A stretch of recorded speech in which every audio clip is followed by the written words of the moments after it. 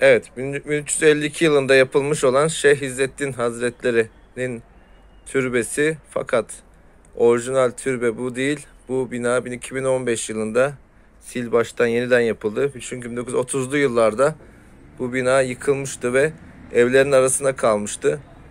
Ziyaret edilemiyordu. Sadece temelleri kalmıştı.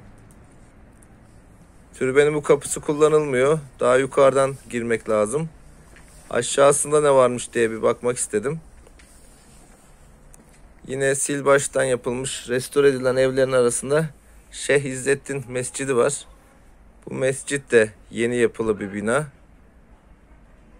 Bakın gördüğünüz gibi klasik Ankara camilerinin, ahşap camilerinin bir benzeri buraya yapılmış mescit tarzında. Yine çevresinde yatılı Kur'an kursu vesaire binalar var.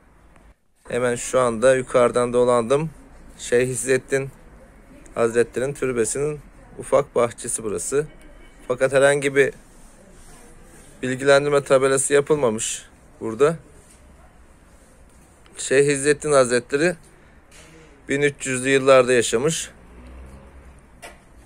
Hacı Bayramı Veli'nin hocalarından bir tanesi. Burada kurduğu medresede çok sayıda öğrenci yetiştirmiş. Ahi kendisi. Yine Ankara'daki e, manevi şahsiyetlerin çoğu ahilerden oluşuyor. Ahilik teşkilatını e, okumanız, bilmeniz gerekiyor. Ahilik kavramını bilmeniz lazım. Çünkü Ankara demek ahilik demek. Burada bir kitabe var. Burada yapım tarihi yazıyor. Fakat bu orijinal kitabe mi yoksa kopyası mı bilemiyorum. Çünkü internette okudum kaynaklarda kitabenin müzede, etnografi müzesinde olduğu yazılı. Evet. Bu sanduka da yeni yapılmış. Dediğim gibi burası enkaz halindeydi. Yıkılmıştı. Tamamen bina yeni bir bina. 2015 yapımlı bir bina. Fakat Osmanlı, Selçuklu tarzının bir karışımı. Güzel, temiz bir, sade bir bina yapılmış. Türbe yapılmış. Dediğim gibi Hacı Bayram Veli türbesini ziyaret edip de hocasını da ziyaret etmemek olmaz. Evet, dıştan da bir görünüşünü alalım türbemizin.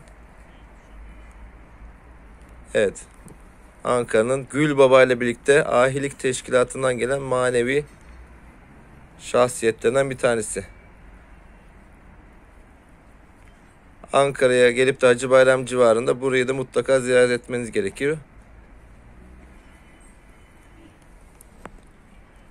Yine yakınlarda Gül Baba var. Hepinize iyi günler.